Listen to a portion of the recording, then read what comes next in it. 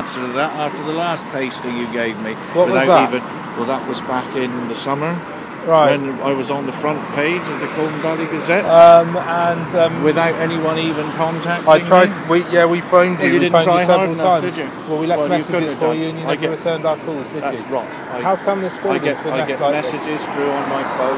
Now you're going to start off by telling lies. I'm not interested in talking. We're not telling lies, Make but how- something up like you did before. How come you've left Just this make something up. How come you've left Make this building something for five, nearly five years? Something up. You did last time. Why can't you do that again? You did. You made. Why did you made take the scaffold down that was holding the front of the. Make building? Why did you take the scaffold Look, down? you're good enough at finding lies to print without me speaking to you, and I'm not going to. So why did you take the scaffold down that was holding up the building? The front of the building. So the town council put a scaffold up to hold the front of the building up, and uh, you took it down. You had it taken down.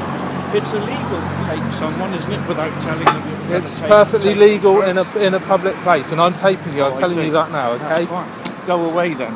So do you want to tell me why you did that? I don't want to speak to you. I don't want to be anywhere near you. What And about I the am not even going to say another word. What about you. the pub that um, is next door and water's getting through, and there you've had problems with damp because you've got no roof on your building?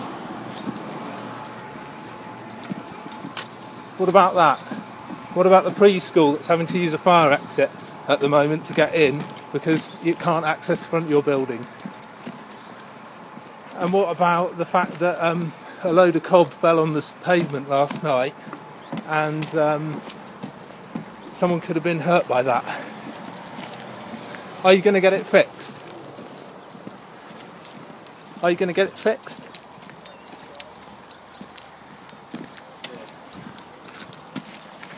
All right, thank you very much for your non comment.